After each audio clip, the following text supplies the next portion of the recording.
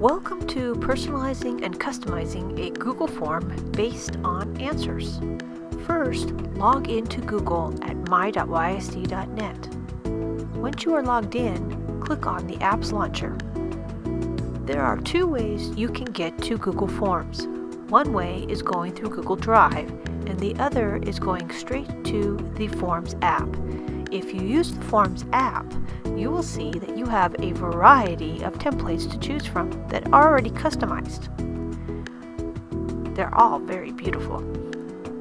However, if you want a blank document, click on Drive, click on New, and of course down to Google Forms. Once in, you will notice it opens up a blank document for you and it chooses a color for you. You can change the color and the theme later. For this document, we will name it Dinner Time, and I'm going to ask the question, what would you like for dinner? Notice the different types of answer choices that you have.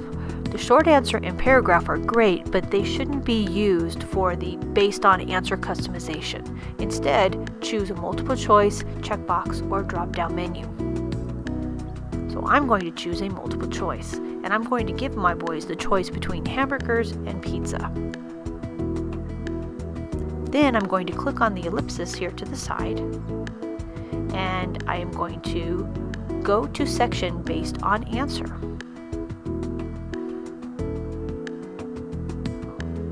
You'll notice that you have a little menu. Down at the bottom is an equal sign. This equal sign will add a new section. So if I click on the equal sign, now I have a section 2. I can name it if I wish, but I'm not going to. I'm going to click on the plus side to add a new question. And my question is going to be, where do you want to go get your hamburger? Five Guys, Wendy's, or homemade? And I'm going to add another section. What do you want on your pizza? Pepperoni, sausage, extra cheese, I'm going to make these required questions. And I'm going to go back up to my first two choices of hamburger and pizza, and I need to guide their answers to the appropriate section. So I click on the section to the side, and you'll notice that section 3, I remember, is my pizza, and section 2 was for my hamburger. So I make sure that I choose the right section to where what their answer is going to take them to. Section 3, pizza, section 2, hamburger. All right. Now I can actually add sections for their other answer choices. I can make this as long as I want, but I'm only asking for one question, so now I'm going to have them submit the form. And I'm going to have each one of the answers here go to the submit form because if it goes to the next section, it's not going to work properly. So I'm still going to have to add that component in there. So now submit form, now they're all going to submit the form. But what is the form going to say when they submit it? I can change that by clicking on the gear wheel. Here in the gear wheel, this is like some of your settings. And you'll notice here it says, you know, your, your answer has been submitted. Well, I want it to say, hey, thanks for letting me know what you like for dinner tonight.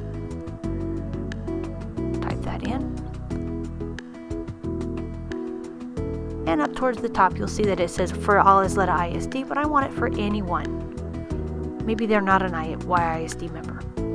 And I click Save. There, now my questions are ready. I want to preview this, so eye click on the I, and that's going to allow me to preview this as anyone who is going to submit the form. All right, dinner time. Hamburger or pizza, I choose hamburger. I like my Five Guys, so I'm going to choose Five Guys. Next, and I can either go back if I misspoke, or I can submit the form. And when I submit the form, look what it says here. Thank you very much for letting me know what you like for dinner. I can now go back into the form and edit it some more. So that's what I'm going to do. Click back on the tab, and here back in the edit version, and you'll notice I had a response, and I can actually look through here and, and look at the response. You notice there's only one, so it's going to give it to me in a graph form.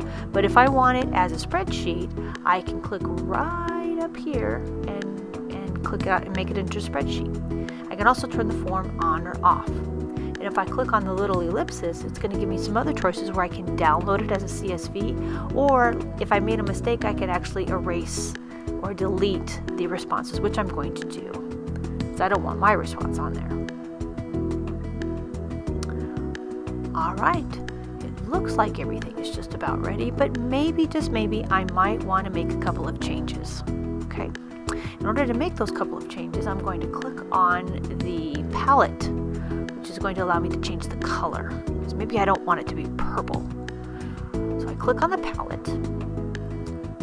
When I click on that palette, it's going to give me a variety of colors to choose from, or if I want to choose one of the themes that they have, I can choose the, the picture at the bottom and look at all the themes that Google has.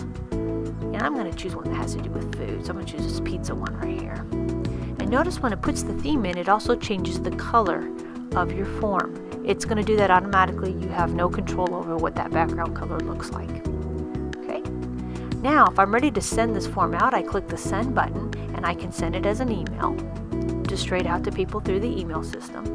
Or I can choose link and that link sometimes is long. So if I choose shorten link, then I can copy that little bit of link and put it in an email or put it on a website if I like to. Or I can actually embed this form into a website. Click the embed and then I copy that HTML code and then I paste that into an HTML editor. Click save. That's it. That's how to customize your forms. Thank you so much for watching today.